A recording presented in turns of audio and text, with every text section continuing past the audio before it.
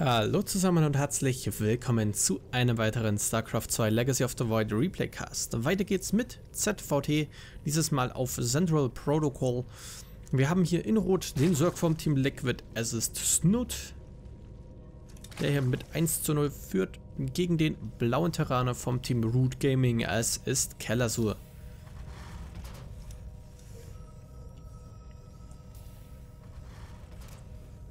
Jo, Spiel Nummer 2, die beiden hier Cross-Position gespawnt, heißt lange Distanz zwischen beiden Greedy Spielen ist möglich, aber möchte man auf dieser Karte auch nicht unbedingt riskieren. Dritte Basis ist auf dieser Map verdammt, verdammt schwierig zu nehmen, weil sie einfach sparangelweit offen steht, in jede Richtung. Das gilt für beide Spieler. Potenzielle Tritte, die man eben nehmen kann, gerade für Snoot jetzt hier nach oben expandieren, hat man eben hier eine große Fläche, wo einfach der Gegner reinrennen kann. Man ist hier groß angreifbar und der Gegner kann sich entscheiden, renne ich jetzt in die dritte oder renne ich in die Main. Das sind die Natural. Das sind die Rocks immer noch hier, das ist der alte Patchstand. Im neuen sind die inzwischen weg. Die hat Blizzard geschlossen, weil sie gesagt haben, das hat so keinen Wert. Alternativ dritte, gleiche Situation eigentlich. Man kann hier groß reinrennen, hat hier nochmal einen zweiten Eingang, den man sich dafür aufmachen kann. Man muss fast, wenn man die dritte unten nimmt, diese Rocks hier aufmachen, weil man ansonsten viel zu lange braucht aus der Mainbase einmal raus und runterwärts. Ja, wir haben hier auch schon für Kalasur den Doppel-Reaper und statt den Triple-Reaper. Da kommen hier drei Rex-Reaper auf Central Protocol. Natürlich, das, die Karte hat verdammt viele Kanten, wo man hoch und runter springen kann mit Reapern. Man ist eben schnell drüben. Kalasur spielt hier die Map hatte ja auch schon im letzten Spiel versucht auf Arena. Da hat das nicht ganz so funktioniert. Mal sehen, ob es dieses Mal ihm besser bekommt auf Central Protocol. Mass Reaper kann funktionieren, aber Snoot hier wieder mal mit dem schnellen Roadshorren. Damit sollte er eigentlich doch relativ sicher sein. Hat hier ein paar Linge dran. Erste Reaper kommt jetzt hier rein. Er sieht die ersten vier Circling. Es sind noch keine Queens da. Es wurde auch noch nicht der Roadshorn hier gescoutet von Kalasso. Momentan eiert die einfach rum mit seinem Reaper. Versucht hier so viel Schaden wie möglich zu machen. Muss ja aber nochmal raus. Queen hier nimmt ein bisschen Schaden. Der wird eben gleich unterstützt von ein paar Kollegen. Sieht jetzt eben auch, dass hier mehr Reaper mit dazukommen. Steigen die Anzahl Reaper hier. Drei werden parallel produziert. Vier sind bereits auf dem Feld, aber eben eine Weile über diese lange Distanz der Karte sich zu einem Haufen zusammenzusammeln. Der Reaper tankt jetzt hier den Schaden von einer Queen weg, macht ja aber auch ganzes Stück Schaden bereits. Jetzt hier sind viele Roaches mit da und die Reaper gegen Roaches, das ist ein verdammt unfairer Kampf. Sud wartet jetzt hier auch schon oben an der Rampe, dass die Reaper hier hochspringen. Stattdessen nutzen die jetzt hier die Rampe zur Natural und wollen hier auch wieder raus. Kommen da sogar, das... Das sieht so aus, als ob das hier zum Weltraum gehören hört, aber nein, das ist noch Karte. Ein Reaper trotzdem hier gefallen. Kalasu hat noch nicht wirklich viel Schaden genommen. Im Gegenteil, er hat einen Reaper verloren, aber noch nichts gekillt soweit. Was nicht sonderlich schön ist hier für ihn. Er baut auch fleißig weiter Reaper. Aber gegen Roaches ist das einfach verdammt, verdammt schwierig. Da kommt sofort in eine Mine in der Hoffnung, dass die Roaches da doch mal ein bisschen mehr Schaden nehmen. Ravage ist jetzt hier mit dabei und Student möchte hier wohl auf zwei Basen noch einen kleinen Push ansetzen mit seinen Roach Ravager das jetzt hier gebaut hat. Sobald er eben die Reaper geklärt hat, kann er gemütlich rüberlaufen. Da kommt jetzt ein Corrosive Ball, da wird gerade so ausgewichen. Und Gallazar versucht jetzt hier diesen Ravager zu jagen. Der Queen geht nochmal ein bisschen an. Die Roach wird hier in der Gegend rumgeworfen. Reaper Count ist inzwischen richtig ordentlich mit neun Stück. Also mit Speedlingen macht man da nicht mehr viel. Allerdings eben Roach Ravager ist hier dafür zu. Da fliegen weitere Minen auf die Roaches. Okay, so kratzt eben doch nachher nach die jetzt an. Reaper ist, sind alle noch irgendwie am Leben, worden hier rausgezogen. Da waren volle Reaper. Da wird einer nochmal rausgesniped. Auch ein zweiter und dritter Reaper sterben hier. Und da kommt sogar ein hier von Snoot. Der hat seine Queens mit dabei. Baut hier weitere Roaches. Hat jetzt sein Roundcard nochmal ordentlich hochgeschoben. Währenddessen Keller so dahinter baut nochmal äh, Doppel-CC. Will also hier damit die Transition machen. Ja, jetzt fressen die Ravager doch ziemlich was an Schaden. Ja, Reaper-Count hier immer noch gut dabei. Mit aktuell hier, was sind das, 9 Reaper am Start. Mit gegen die Roaches und Ravage, aber der Roach-Count ist inzwischen auch immer mehr und die Minen, man muss eben vorsichtig sein, die können eben auch die Roaches nach vorne werfen. Dann ist die Distanz plötzlich nicht mehr da zwischen Reaper und Roaches und dann können die Roaches fröhlich feuern. Weiter Reaper geht hier down und Kellis hat die noch nicht eine Unit von Snoot getötet. Unit Lost Tab ist 0 zu 500. Keiner so versucht hier aggressiv zu sein, aber verliert hier einfach. Nur die Drone hier, die hätte vielleicht abfangen können, aber nein, die zieht Snoot direkt zurück. Da geht es jetzt nochmal an einen Ravager. Nein, der überlebt hier auch noch gerade so. Da war gerade die Vision da. 9 HP hat dieser eine Ravager hier noch. Kalaso tänzelt hier weiter rum. Reaper-Produktion wurde inzwischen eingeschätzt, stattdessen geht es jetzt hier an SCVs, aber die Reapers sind eben auch defensiv gar nicht so sinnvoll momentan. Queen nimmt hier ein bisschen viel Schaden und Kalaso evakuiert ein weiteres Mal. Natürlich Reaper regenerieren sich, aber er hat eben hier schon sechs Reaper verloren, ohne irgendwas zu töten. Auch Snoot musste überhaupt keine Gebäude bauen und canceln. Die Drone jetzt hier kann gefunden werden, heißt die dritte wird von Snoot noch eine Weile warten müssen. Mal Reaper dafür laufen einmal die Rampe hoch ins Feuer der Roaches und Ravager nehmen sofort wieder einen raus. Damit hat die Kaiser Soldatin mal den ersten Kill gemacht, aber hier, zweite Drone wird bereits hochgezogen. Die beiden hier sind nicht glücklich, wie es momentan mit diesem Spiel läuft. Beide hier mit der Pause.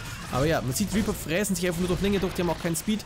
Jetzt kommen die Roach und Ravager mit dazu, da kommen viele Minen, macht hier einiges an Schaden. Trotzdem Kalasu muss hier ein weiteres Mal evakuieren, er kann ihn nach wie vor nicht direkt draufhalten. Das wäre einfach nur Suizid. Er hat einfach sein Army-Supply besteht und immer noch größtenteils aus Reaper. Jetzt kommen hier Marines mit dazu. Stim und Combat Shield wird gerade erforscht und die Factory kommt jetzt erst. Bei Minute 6 kann jetzt Keller so endlich mal weiter tacken. Er hat einiges an Gas und jetzt hier geht es nochmal auf die dritte Edge. Die ist noch im Bau, die wird es ja auch viel Schaden nehmen. Wird ja auch gecancelt, Snoot hier reißt die ab. Sagt, das hat so keinen Wert, die kann ich so nicht halten. Ravager wagen sie jetzt hier weit raus von Ravager. Und noch ein ganzer Haufen Roaches mit dabei. Und Snoot jetzt hier hat seine zwei Basen, möchte natürlich seine dritte nehmen. Jagt jetzt hier ein bisschen die Reaper. Man muss eben vorsichtig sein, wenn die Army hier out of position ist, springen die Reaper gerne mal eben in die Mainbase und können da richtig viel Chaos verursachen. Für Snoop kommt eben jetzt auch erst die Doppel-Evolution Chamber. Beide nutzen ihr Gas hier sehr, sehr spät für weiteren Tag, weil einfach die Reaper eine solche Bedrohung fürs Nutzen, dass er seine Einheiten parat haben muss. Es sind jetzt hier auch mehr, mehr Queens mit dabei. Ein dritter Hedge wird ein weiteres Mal hier gesetzt von Snoot. 1 1 Upgrades kommen für ihn. Wenn das ein Starport kommt hier für den Terraner. Kalasu hat hier immer noch 10 Reaper am Start. Und bleibt hier auch hart dran mit der Economy am Cirque. Da geht es wieder auf die dritte Edge. Nimmt hier auch richtig viel Schaden. Wird hier ordentlich bereits runtergebombt. Aber die Ravager kommen zur Unterstützung. Da kommen jetzt die Corrosive Bites. Da wird eigentlich ausgewichen. Cancel ist da. Snoot muss ein weiteres Mal seine dritte Basis abbrechen. Kann also jetzt hier die Reaper mehr und mehr vertreiben. Wir haben auch nochmals um zwei abgenommen. Ja, jetzt hier wird zum ersten Mal ein Trupp rausgeschickt, um die Reaper zu jagen.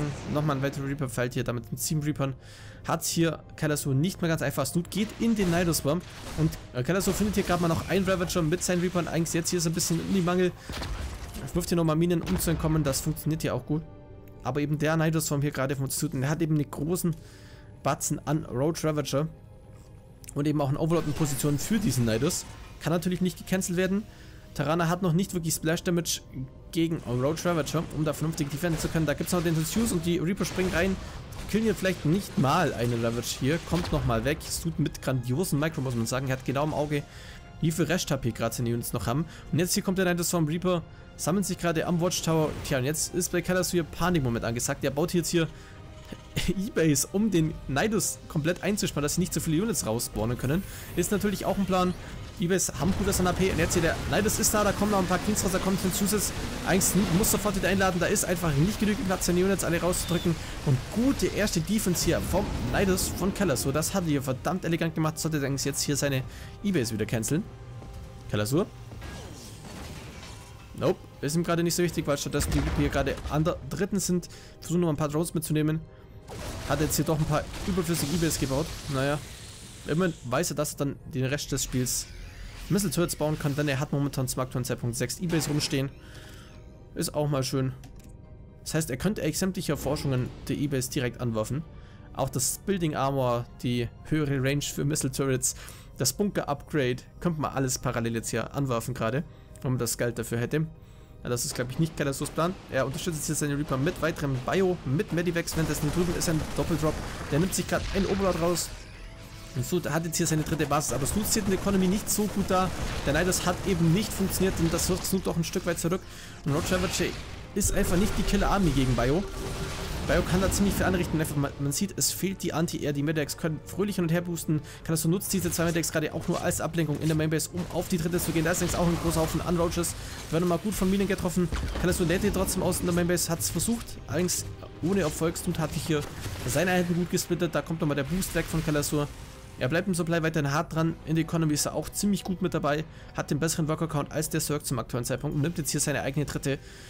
Und damit wird das Tarano Supply doch nochmal ziemlich nach oben schießen. So könnte man noch einen Nidus bauen, aber eben hier ist der Nidus sowieso schon gefangen. Das würde es genauso laufen wie schon beim ersten Versuch. Ja, Kalasur hält hier wirklich gut dagegen, macht hier verdammt guten Job. Snoot hingegen hat weiter hochgetaggt, holt sich gerade Pathogen Glands und die ersten Infestoren. Das sollen dann die Fungals setzen. Fungal Corrosive Bile ist eine richtig, richtig mächtige Combo. Es sind auch einige Queens nach wie vor in dieser Komposition. Sieben Queens sind gerade auf dem Feld eben für viel Creeps, für Notfall-Transfuses. Allerdings jetzt kommt hier ein Mega-Drop von Kalasur in die Main und da ist kein Overlord in der Nähe, der das spotten könnte. Und da ist ein bisschen was an Units, aber das reicht nicht gegen diesen ganzen Medivacs. Da ist noch ein Panzer mit dabei, der ist eigentlich nicht mal gesiegt. Da kommt mal Corrosive Vice, da wird eigentlich ausgewichen Stim, um die ganze Einheitentruppe hier zu vernichten. Da ist ein Infestor, der wird eigentlich gesniped hier, bevor er seinen Funkel setzen kann. Panzer wird jetzt hier aufgeklappt in den Siege-Modus. Und jetzt kommt hier ein großer Schwein Roaches nach. Das kann hier Snoot vielleicht sogar halten, er wird viele Verluste davontragen. Jetzt kommt hier nochmal der Lauten von Kalasson, der Boosted Deck und der Funkel sitzt hier auf zwei leeren Medivacs. Die kriegt hier Snoot gerade noch. Nein, kriegt sie hier nicht, weil er daneben setzt. Währenddessen hier oben zweite Truppe mit ein paar Medics, zwei Panzer hier gerade auf die dritte und Kalasson einfach rechts klickt hier gerade die Hatch. Haut seine ganze Einheit einfach nur auf die Hatch drauf, währenddessen die drüben die Medics wollen weiteres Mal reinspringen. Infestor hat keine Energie den Funkel, Panzer wird ausgeladen auf dem Longrad.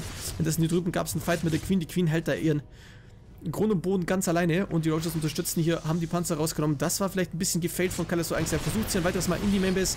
Da ist der Infester nochmal hart angeschlagen unten, aber es reicht hier gerade nicht für Kalisto. Kann hier nach wie vor nicht durchdrücken. Da ist nochmal ein Infester in der Nähe, kommt dann Fungal. Nein, Snoot traut sich das hier nicht. Wenn das hier drüben der zweite Druck von Kalisto nimmt jetzt hier nochmal zwei Queens raus. Das Snoot ist hier kurz vom Max-Out eigentlich eben mit Roach Ravager Investor-Unterstützung. Zumindest Investorenanzahl ist nicht so groß. Es sind nur zwei Investoren. Jetzt kommt hier noch ein dritter mit dazu. Und ein Kellersur. Zwei, zwei Upgrades für ihn auf dem Weg. Er ist ein Upgrades gutes Stück hinten, muss man sagen. Das ist sein Drop unten. Wird gefangelt, gefunden und ausradiert durch die Corrosive Bites. Snoot mit den schnellen Reaktionen. Ja, 2-2 braucht für einen Taran noch lange. Das ist sehr, sehr spät eigentlich, das 2-2-Upgrade. 1-1 hat er schon zu einem vernünftigen Zeitpunkt noch gehabt, aber 2-2 lässt hier ewig auf sich warten. Panzer sind jetzt hier noch nicht im Siege-Modus. Jetzt kommen die Georgian vorwärts, aber jetzt gibt es hier ins Gesicht von den Panzershots. Ein Marine hat hier nochmal die Army gefunden. Da ist nach wie vor nicht viel an Investoren mit dabei. Jetzt kommen hier nochmal Investoren nach hier für Snoot. Er ist kurz vor dem Max-Out. Stellt sich hier sehr, sehr weit auf. Möchte den Terran einfach überlaufen. Mal sehen, ob das für den Cirque reicht. Da kommt der Stim auf die Ball. Die Micro die nach hinten. Die Panzer teilen viele Keilen aus. Jetzt kommen die Close Weiß auf die Medex. Medex komplett rausgenommen. Bis eben auf zwei Stück. Und eins wird da noch panisch genutzt, um den Panzer zu micron. Aber es tut er einfach mit der Masse. Rollt hier komplett über die Terraner-Army drüber schießt mal kurz die dritte an. Jetzt soll sie stattdessen in die Netze gehen, in Richtung Production. Panzerdampfer machen einen guten Job, machen ziemlich viel Schaden zu. Verliert er doch einiges Einheiten, aber er hat den Wechshaut gegen den Terraner mit knapp 100 zu werden. Kellersur hat jede Menge Geld, aber irgendwie nicht die Production, um das Geld vernünftig wegzuproduzieren. Könnte vermutlich im Supply noch wesentlich, wesentlich höher sein. SCVs werden aus Natural evakuiert. Wie vielfach Ebay bringt ihm jetzt hier auch nichts. Die SCVs hier, naja, fahren Richtung Investoren. Lustigerweise in Richtung vierte Basis, die Kellersur bereits gesetzt hat, nämlich hier unten. Heißt, er hat eine verdammt, verdammt starke Economy, aber einfach nichts zum Produzieren. Ihm fehlt es komplett an Army Supply und Stud hat damit einen entscheidenden Vorteil. Wenn man Funkel auf viele SCV, generell der SCV-Count wird jetzt gerade hier komplett radikal äh, runtergemäht. Runter auf 33 SCVs, da ist noch ein kleiner Biotrope mit Panzer, mit Medivacs. Aber Kalasur, das sieht ziemlich düster für ihn aus in diesem Spiel. Die PF soll jetzt hier hart counter-repaired werden. Kalasur hat noch richtig viel Geld, aber da kommt der Fokus von Snoot auf die SCVs, in der Biotrope von hinten versucht, die Rogers, Ravager und den Festoren sich zu schnappen. Aber die Bio ist einfach nicht so viel. Die Position hier auch nicht sonderlich gut für Kellersohn. Er wird einfach hier komplett aufgerieben. Snoot hier Max-Out gegen 50 Supply Terraner. Und somit sichert sich Snoot hier bereits das zweite Match, die zweite Map. Führt damit mit 2 zu 0 gegen Kellersohn. Mal sehen, kann es jetzt hier noch rumdrehen? Ist es ein Best of 5? Es, es kommt eben jetzt noch mindestens eine Map. Ich hoffe, Kellersohn kann er nochmal gegenhalten. Seine Ansätze sind nicht schlecht. Aber am Ende hat Snoot irgendwie immer zu viele Roaches. So war das bis die ersten beiden Games jetzt hier. Ja, vielen Dank fürs Zusehen. Ich hoffe, es im nächsten Replaycast. Macht's gut und ciao.